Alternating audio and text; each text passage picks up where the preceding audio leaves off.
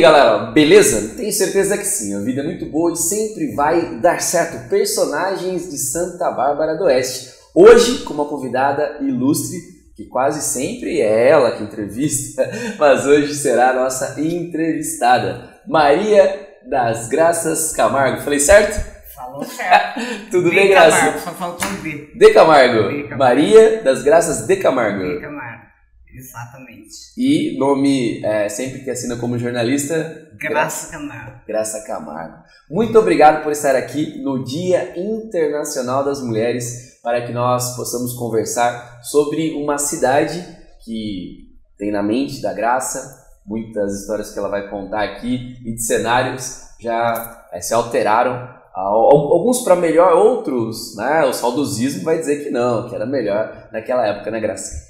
Com certeza, Léo. Eu que agradeço né, a oportunidade de estar aqui no seu programa, um programa que já emplacou, né? Muitos acompanham, eu acompanho, gosto muito. E principalmente por estar aqui no Dia da Mulher, né? Aproveito para cumprimentar a todas as mulheres. Com certeza. E eu começo já com uma pergunta é, que tenho certeza que é filosófica, mas importante. É, o que é ser mulher, Graça? Porque as pessoas, elas têm dito bastante, né? Olha, você nasce do sexo masculino ou feminino. E você vai depois construindo a identidade de mulher. Sem entrar nessa polêmica de ideologia de gênero, mas é, na sua concepção, o que é ser mulher? Olha, Eliel, eu nasci numa, numa época em que mulher tinha que ficar no seu cantinho, no seu espaço, né? Era aquela coisa eh, meio, entre aspas, submissa, né? Era, era mais ou menos isso. Teve aí várias lutas. ah, eu acho que ser mulher hoje não é fácil, né? Mas a mulher foi descobrindo seus espaços, foi entendendo que ela pode sim participar de tudo, né? Está participando mais, você vê mulheres ocupando cargos, né? Altos cargos, em- embora todos sejam dignos, né?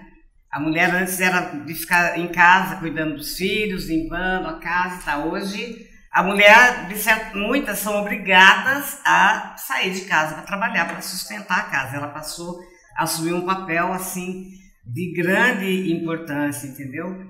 E eu acho que ser mulher hoje é, é poder participar e participar de fato de, de todas as situações, entendeu? Seja na política, eh, na sua comunidade, no dia a dia, não é? Claro que você vai enfrentar uma série de dificuldades, né?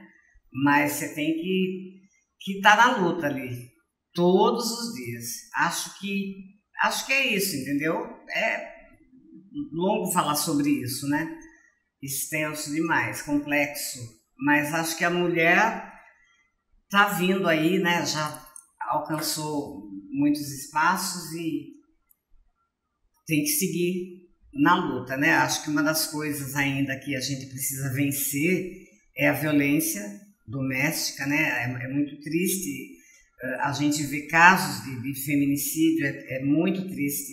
Ontem mesmo saiu um balanço que eh, em 10, em 9 anos foram mais de 10 mil feminicídios no país. É um número assustador, né? Então é algo que tem que ser visto, né? E, e a mulher, acho que a mulher que sofre esse tipo de violência, eh, não só a violência doméstica, né? Mas vários tipos de assédios que ainda existem, eh, ela tem que eh, abrir a boca, tem que tem que ir lá e denunciar mesmo para, enfim, né? Ver se a gente reduz esses números para acabar e a gente poder viver em paz. Perfeito, gostei muito da tua fala de uma construção de identidade.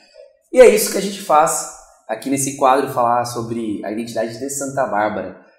Você nasceu em Santa Bárbara, Graça? Eu nasci em Santa Bárbara, nasci na usina Santa Bárbara. Usina Santa Bárbara. Participa da negadinha da usina? Participo, eu, eu vou, não, não todos os anos, mas eu tenho ido sim, aí a gente revê muitos amigos, é um encontro emocionante, aí vem um monte de lembranças, né? Alguns você não reconhece porque era pequeno e hoje é pai, é, é, é- é mãe, av- avós até, né? Então é, é, é muito legal. A gente tem sim contato. A tua infância foi então nas colônias Toda, na, toda na, na colônia, na usina. Minha colônia chamava Dona Carolina, era um lugar maravilhoso. Hoje, Hoje eu falo que tem um, tem um condomínio residencial em cima da colônia onde a gente viveu, né? Colônia Dona Carolina. Era, uma colônia que ficava de frente com a Lagoa da Usina, que era maravilhosa. Era até um atrativo, sabe? Nos finais de semana, muita gente ia lá com barco, sabe? Uh, aquele barco simples da época, mas ia e ia pescar. Uma colônia cheia de eucaliptos, de ponta a ponta, e, e muitos uh, moradores dessa colônia, a gente se encontra ainda, a gente se vê e fica lembrando né, das brincadeiras, de tudo que a gente viveu ali, que foi inesquecível. É muito, é muito lindo. Um lugar que marcou muito a minha vida. Eu, eu sabe que muitas vezes eu sonho e o cenário é lá na usina Santa Bárbara. É, é muito, é muito legal, muito forte a lembrança. E a escola? Qual escola você frequentou desse ensino fundamental? Eu estudei no Grupo Escolar Coronel Luiz Alves, que hoje está lá, detonado, né? Abandonado. Era maravilhoso. Era na colônia, né? Era, ele na verdade, ele fica, era atrás da colônia, do lado direito. Você indo para o Caiubi, Cruzeiro do Sul, você passa em frente, né? Sim. O grupo. Só que hoje está lá, muito abandonado, infelizmente. Grupo Escolar Coronel Luiz Alves. Que depois de muito tempo, né, a denominação passou Sim. aqui para para Escola Estadual Coronel Luiz Alves, onde eu tive a oportunidade de dar, de dar aula também por três ou quatro anos. Depois, né, muitos anos depois. Que interessante. E como surgiu essa questão do jornalismo na tua vida? Foi uma questão natural? Foi por formação? Ou se tornou jornalista antes de formação? Olha, uh, Gisele, eu, eu me atraía, sabe? Na época não tinha TV, era rádio, né? Então, de ouvir, sabe, reportagens na, na no rádio. E, eu, eu, e o meu irmão tinha aqueles gibis do Fantasma, do, do Tio Patinhas, aqueles gibis que tinham na época. E vinha, sabe aquelas propagandas, assim, os cursos no Instituto Universal Brasileiro. Uhum. E aí eu, eu olhava, sabe, eu, e, e tinha lá propaganda falando como era. Aquilo, sabe, foi me atraindo e tal. E ficou lá meio adormecido. Aí eu estudei na escola, tec, na escola técnica de comércio antes de, de mudar para a cidade. Nós mudamos aqui para a cidade no, em 1970. E eu, eu passei a estudar na escola técnica de comércio, né, que era o seu José, doutor José Danhone a dona Ercília Danhone. Eu trabalhei na casa deles sete anos. Adoro a família até hoje, né? O Zal, Rafael, Thaís, o Tiago, todos eles. E aí, na, na escola de comércio, aí você vai fazendo aquele, aquele aprendizado técnico, né?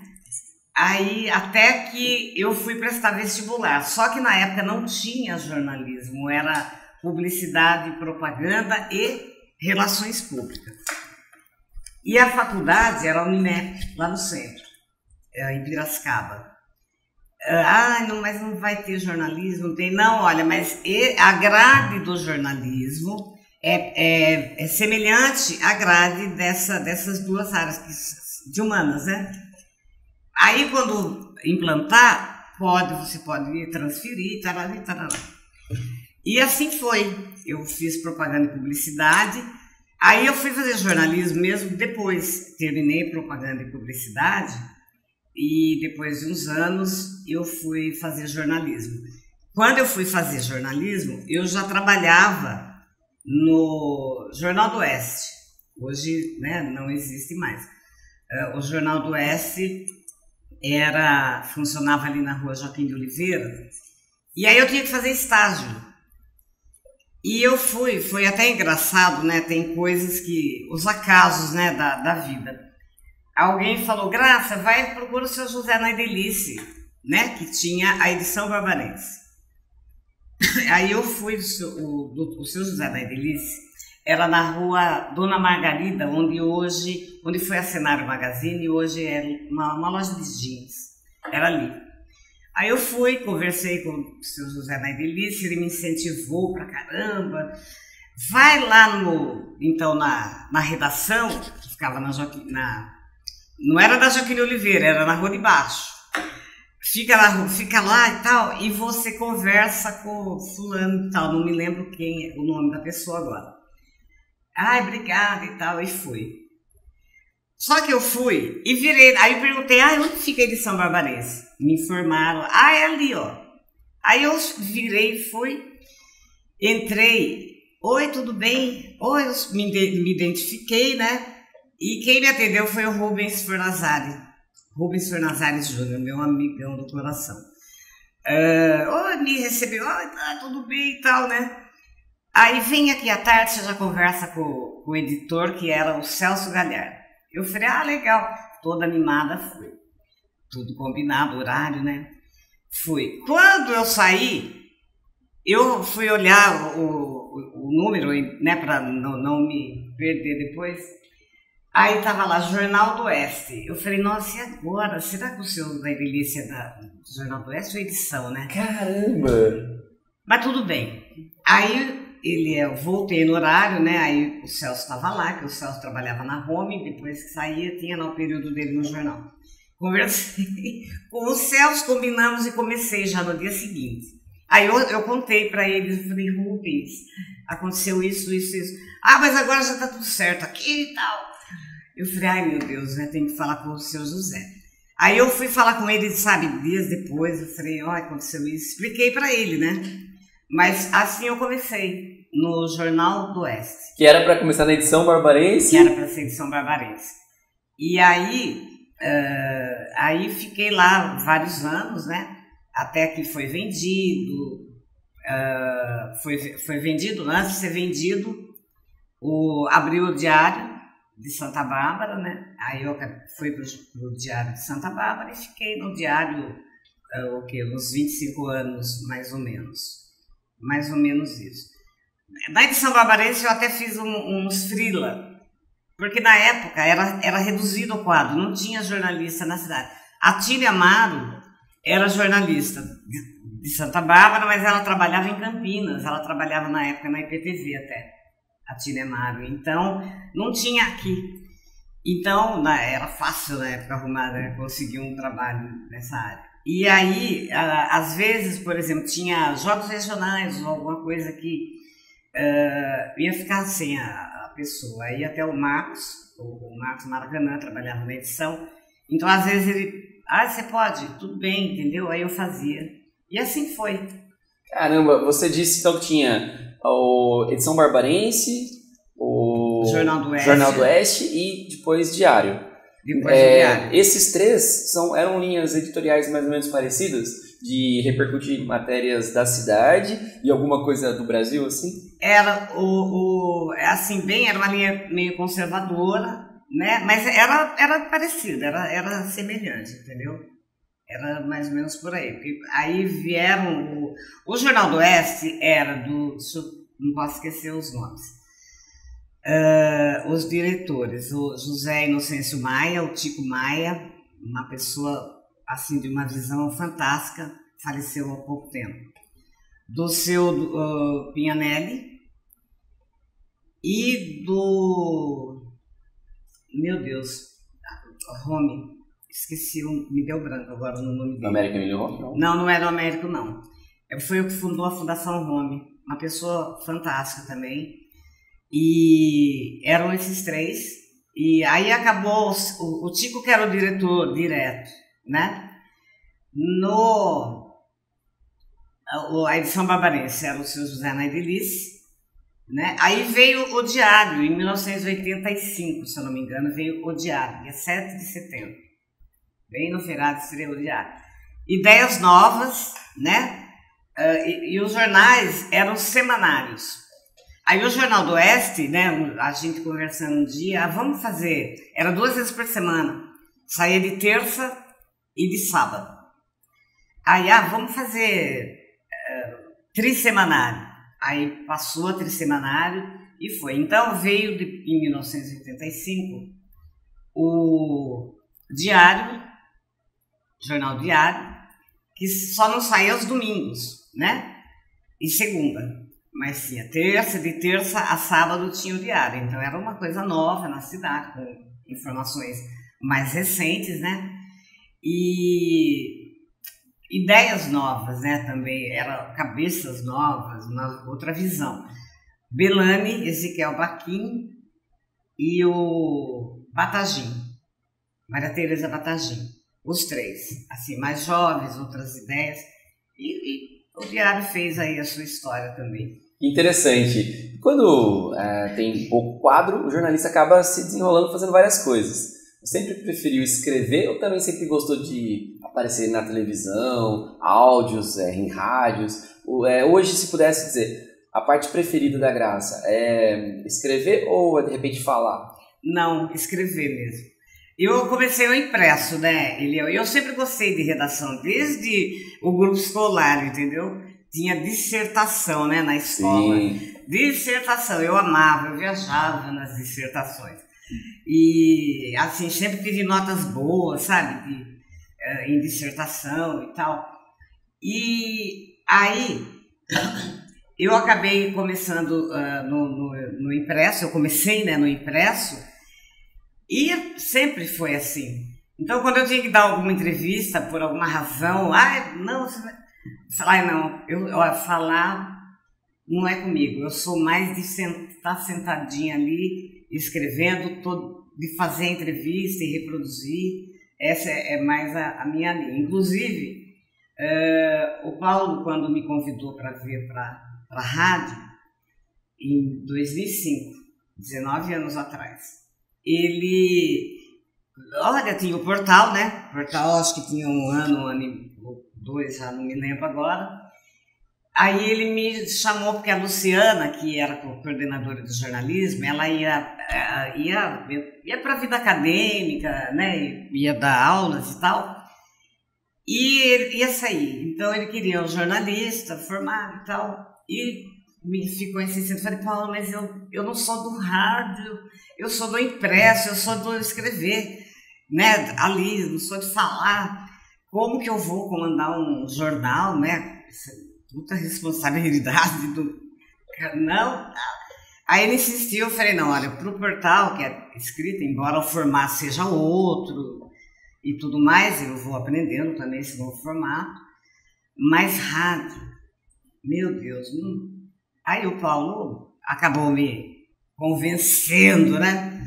Aí eu vim e tinha o, o Gesiel de Freitas, na época, não sei se você conheceu, um jovem assim, fantástico. Não, conheci. Não, que dominava o, o, o, microfone, ele era pastor e dava palestras e tal, era uma sumidade, cara. Aí eu falei, Gisel, eu não vou comandar o jornal, fique tranquilo, é você, você vai comandar, cara, eu vou aprender com você. Eu não sou de rádio, eu não sou de rádio, eu sou de. Eu sou de, de da escrita, meu, eu sou de. Eu sou do impresso, eu sou da época de máquina de escrever, apanhei quando passou a ser né, o computador, Sim. a tecnologia foi chegando e avançando. Eu fui aprendendo os macetes, eu falei, mas de rádio não. E assim foi, sabe? Aí, com o tempo, eu fui ficando mais à vontade, participando do Jornal da Brasil e de algum outro programa, porque aí você está em casa, então você fica né, um pouco mais à vontade, até porque a pessoa que está junto também facilita Sim. isso.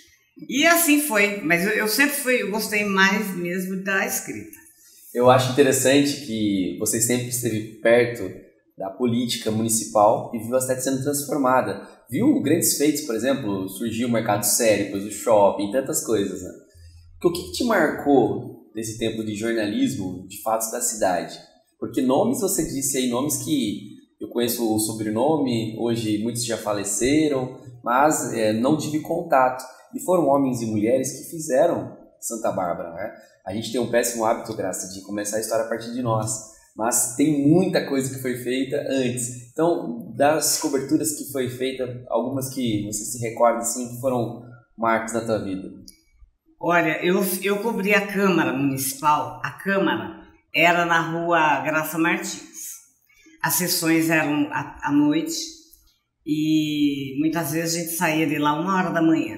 Nossa. E era, então eu cobri muitos anos, marcou, olha, várias legislaturas nessa época, marcou, tinha muitos debates, e como tem hoje, né? Uh, mas Foi muito legal. Então, mais de 20 anos eu cobri a Câmara. Mas você teve uma carreira muito sólida em Santa Bárbara do Oeste. Inclusive, tem um prêmio com o teu nome. Né? O Pinguim é, instituiu, foi ele, né? Foi o Pinguim, Fabiano Hoje, Pinguim. hoje tem, é, o, você empresta o teu nome hoje é, para um prêmio que é concedido, acho que bienal, é, é bianual, né? É, é bienal. é bi- A anual. cada bi, é isso. Hoje, na cidade, tenho certeza que ao lado de tantas pessoas que fizeram a diferença, você deu voz para muitas pessoas, sem se preocupar em aparecer.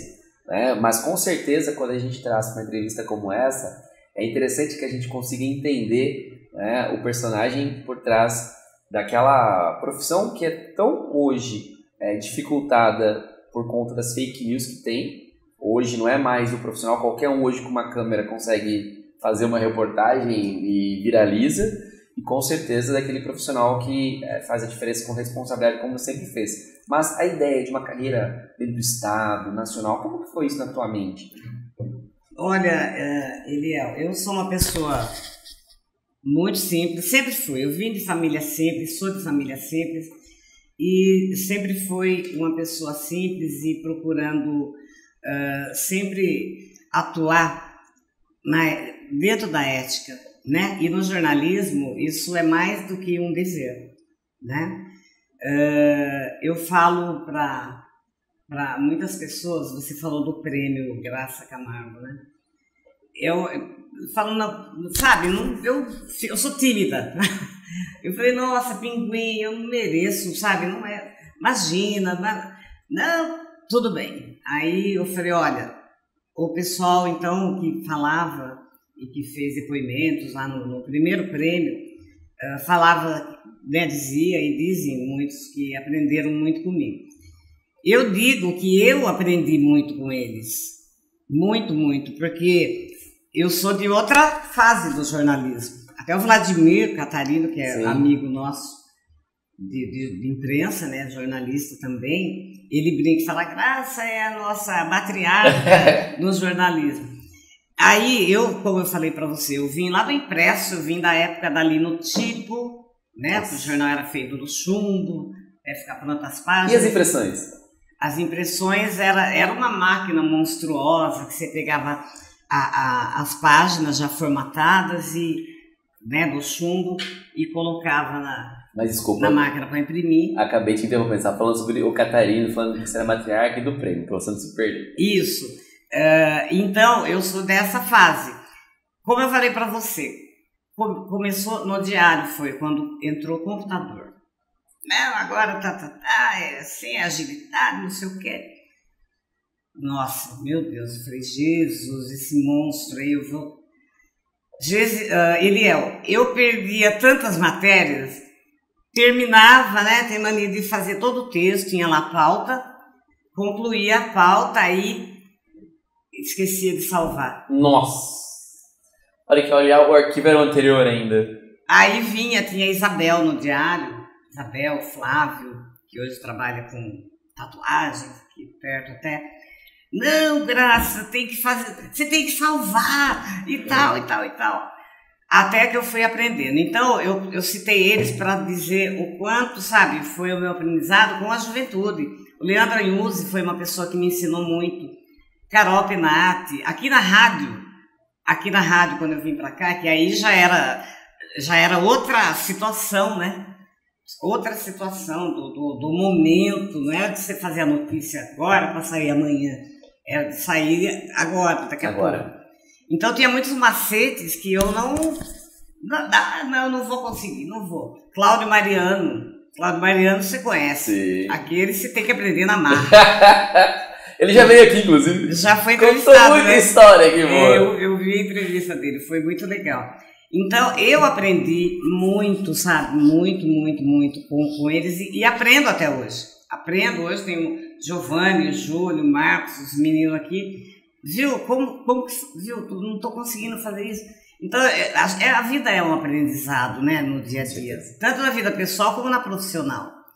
E, e eu falo bem, mesmo embora estando quase né, no fim da, da, da carreira, não pretendo parar tão já, enquanto Deus me permite, eu tiver força e discernimento, espero né, tá ali atuando. E vou continuar aprendendo sempre, né? Mas eu sou muito grata ao Fabiano Pinguim, a todos os vereadores que aprovaram e aos vereadores todos que mantêm, Sim. né? Achei até legal a medida de, de ser uh, a cada dois anos, porque a Câmara antes uh, era assim, muita. Tinha, vinha, a gente se encontrava toda terça, um grupo de jornalistas. E cobrir a sessão da Câmara era um prazer, era ótimo, a gente se encontrava, todo mundo ali. E aí veio a pandemia, né? veio a pandemia. Até antes um pouco da pandemia, a minha mãe passou a ficar mais dependente de mim. Então eu tive que reduzir né, as minhas saídas. Eu fazia muita coisa em home office para estar ali junto com a minha mãe. Fiquei com ela até o fim. Veio a pandemia, piorou. A Câmara então passou a, a limitar, né? A sessão era, era pela internet, né? Era transmitido então pelos canais sociais, pelas redes sociais. Então, aquele encontro semanal dos jornalistas também, né? Então, hoje eu não tenho ido, mas você que está lá toda semana, você vê que né, aquela sala de imprensa já não é tão cheia como era antigamente, né? Até por conta das facilidades que você tem. Eu acompanho a sessão da Câmara pela, pelo Facebook, pelas redes Sim. sociais, pela TV Câmara, né? Então, é, é, essa a realidade. Mas você tinha falado da, também de como eu. Da sua carreira dentro do Estado, uma carreira nacional, porque uma pessoa como você daria certo em uma folha, no Estadão, em qualquer lugar. Né? Você é, disse que na época talvez tivesse até condições de galgar, né? Tinha. Olha, eu tive a oportunidade, Gisele, uh, lá, olha, foi na, em mil, acho que 86, 89, não me lembro agora direito o ano. A Ana Luísa de Oliveira, uma fotógrafa profissional fantástica, ela morou em São Paulo, trabalhou em São Paulo em, em órgãos de imprensa e de grande, né? A Ana era filha do senhor Roldão de Oliveira, o artesão, que tem a casa do artesão.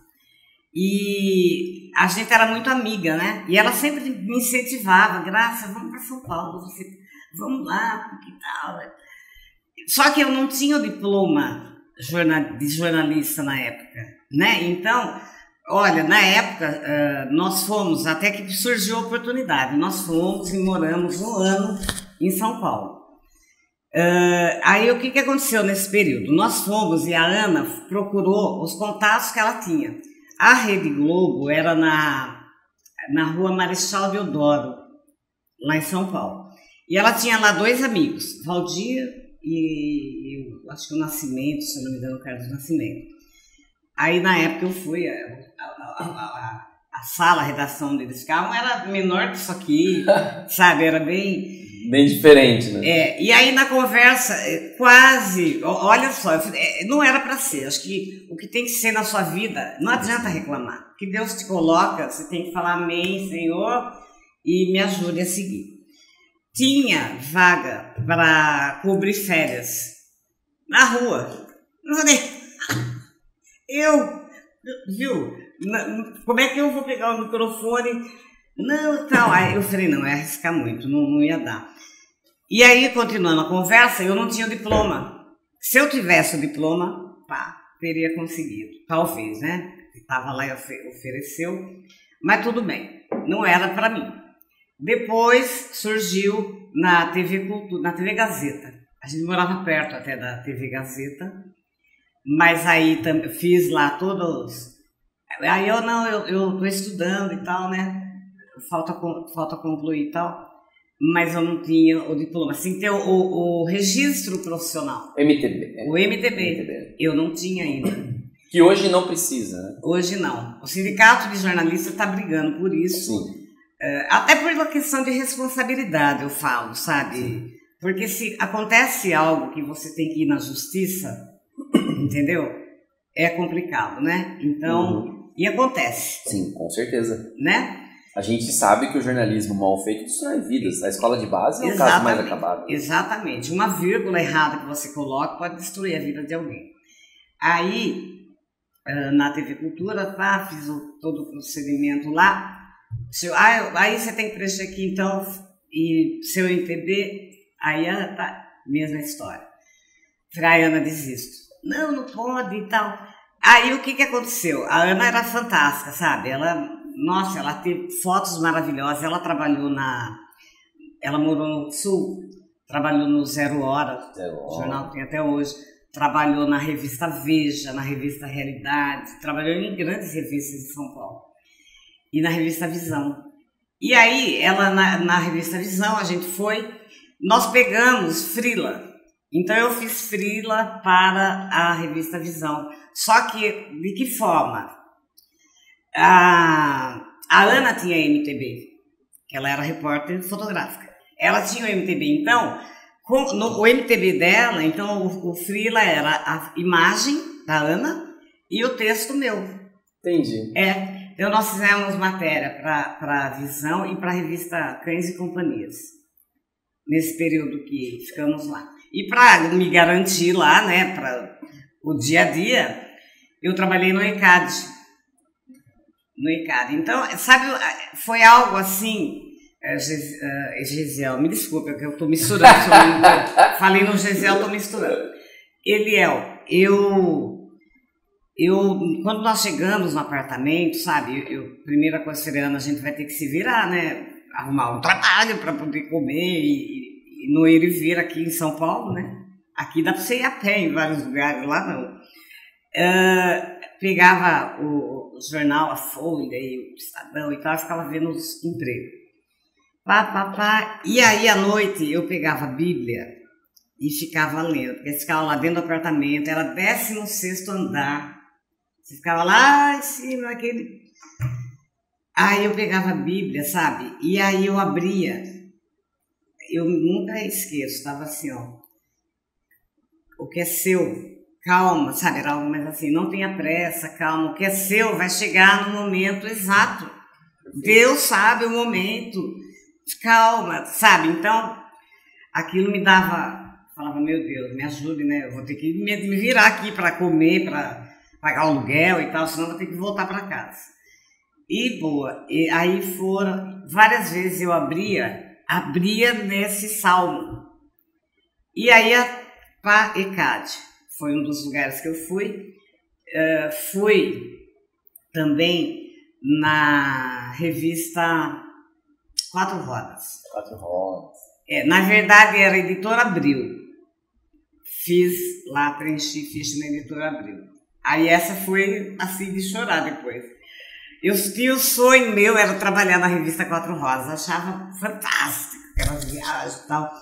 E aí, Eliel, eh, o que deu certo foi o ECAD, que até era perto, era ali no, no, na Vila Mariana, era perto de onde a gente morava, sabe? Às vezes até eu, voltava, né? De manhã não, porque para não perder hora, mas da hora de vir embora, às vezes eu vinha a pé até. E trabalhei no ECAD até o último dia que eu vim embora, que eu voltei para casa. Aí, trabalhei no ECAD e tal. E um certo dia, a, a minha mãe, né, torcia, rezava para eu voltar. Queria que pra- voltasse. Queria ali do lado, porque eu, eu ia para São Paulo eh, toda segunda-feira de manhã, pegava o primeiro ônibus e voltava na sexta-feira à noite. Passava o final de semana em casa. Tá? Quando chegava o domingo à tarde, minha mãe já ficava angustiada. Nossa! Tá.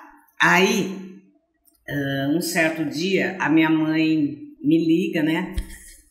Aí veio lá, lá uma colega, Graça, ligação para você. Eu falei, nossa, era umas três horas da tarde, nunca esqueço. Falei, meu Deus, o que será que aconteceu, né? Não tinha celular na época. O que será que houve? Meu Deus, fui lá atender a lua. Minha mãe com a. Graça, olha, o Rubinho do Jornal do Oeste ligou, ele quer que você volte lá. Porque surgiu uma vaga e tal. Acho que era o Duca Valcante que trabalhou lá e depois ele foi para outra atividade. Surgiu a vaga, o Rubinho. Aí juntou, né, o Rubinho com a minha mãe, imagine, né? Aí eu voltei do Jornal do Oeste. Então foi super interessante. Aí voltei para o Jornal do Oeste, fui super bem recebida e, e retomamos aquela rotina que a gente tinha antes. E uh, Eliel já estava registrada, tava, passou acho uns dois, três meses. Quem me liga? A revista Quatro Rodas. Caramba, o sonho. Nossa, eu quase chorei. Eu quase chorei, mas aí eu falei, não, calma, Graça, não é seu. O que é seu, Deus prepara e te dá na hora certa. Isso me confortou mais uma vez. Mas é, é algo que eu lembro, às vezes falando. Que legal. Uma mas não era pra mim, né? né? Não era pra ser. Com certeza. Quantos anos de jornalismo? De jornalismo? Nossa, de jornalismo, acho que 30. 30 anos. 30. Com certeza, Graça. É um prazer conversar com você no Dia Internacional das Mulheres. Contou tantas vezes a história, informou numa época que não tinha rede social como tem hoje. E com certeza é um prazer ter registrado esse momento com você, já está finalizando o nosso tempo aqui, teria muita história para contar, mas com certeza é uma barbarense que nos orgulha, ajudou a construir, ajuda ainda e continuará ajudando, que Deus te dê saúde e força para continuar muito tempo ainda, viu, Graça? Deixa um recado para o nosso povo de Santa Bárbara. Olha, primeiro eu agradeço né, essa oportunidade, né, Eliel, e eu quero dizer o seguinte, né, e vale para todos que estão nos acompanhando. A gente não é nada sozinho.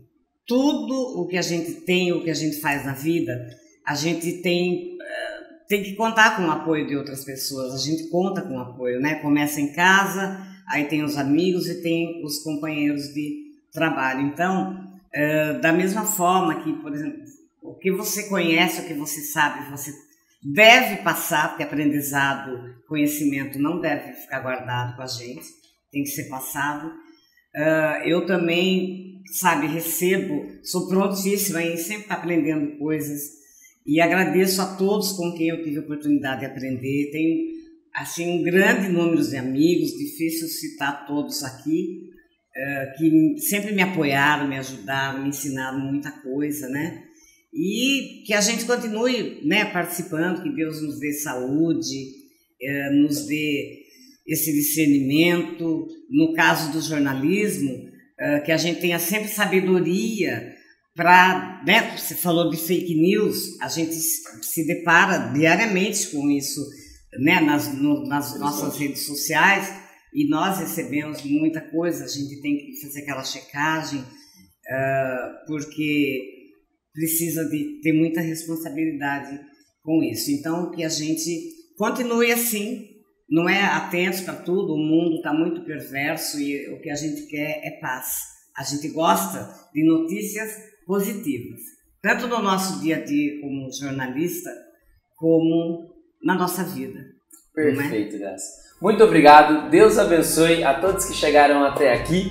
Curta, compartilhe e comente para que nós tenhamos mais engajamento Deixe aqui nos comentários quem você quer também que seja entrevistado aqui no personagem Santa Bárbara. Graça, muito obrigado. Eu que agradeço. Deus abençoe. Obrigada, amém.